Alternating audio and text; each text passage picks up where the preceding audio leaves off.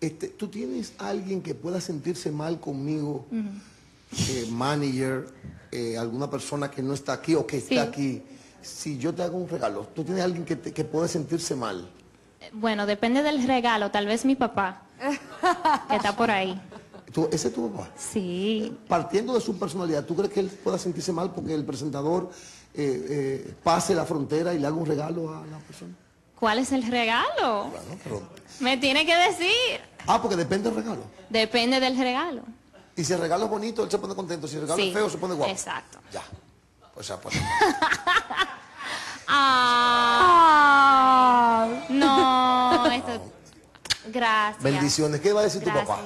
No. Ahora, ahora, con ese regalo concretamente que yo te acabo de dar. Bueno, pregúntale a él. Eh, Bueno, no, se ríe, se Mister, no se ríe, él no se ríe.